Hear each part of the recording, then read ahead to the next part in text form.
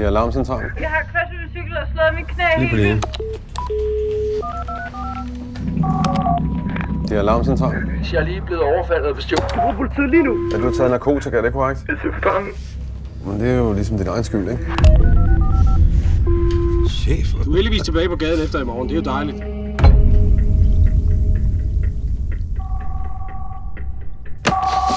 Det ringer. Det er alarmcentralen. Hallo? Taler jeg med Iben? Hej skat. Har du drukket? Nej, det, nej, det har jeg ikke. Hvem er du sammen med? Iben ved personen, du er sammen med, du har ringet 112. Nej. Er du blevet bortført? Ja. Iben? Hvem er det? I skal ikke blande jer. Kommer mor nogensinde hjem? Jeg er fra politiet. Vi er vogtere. Der er en, der har brug for os. Det er ikke din opgave, det her. Kør efter. Ah, han blikker af. Han er ved at køre motorvejen. Han må se dig.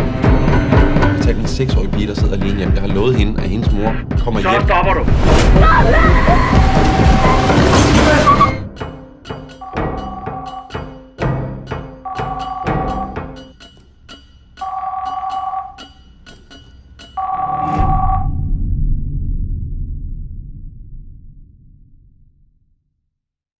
Hey Vale here with an added bonus to this video.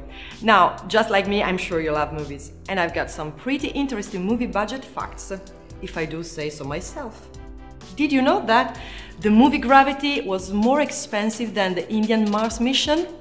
Yes. Paranormal Activity cost less than $15,000 to make, but crossed over $193 million.